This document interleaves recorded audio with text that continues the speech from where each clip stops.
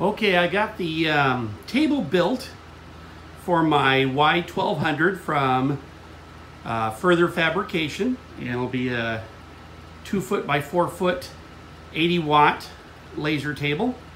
And what you see before you is the fact that I, I ran uh, out of black extrusion. So on the longest bits, they had to send me regular silver.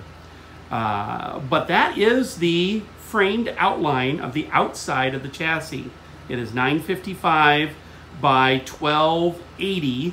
Those are the two lengths of the strut. So I got 1280 going along here, um, which actually accounts for 1620 if you think about the fact that these are on the outside. So 1620 at, by 955 is the total uh, outside profile of this box. And that's what I wanted to get together first to see how well it fit the table. Looks like it gives me about an, at least an inch all the way around.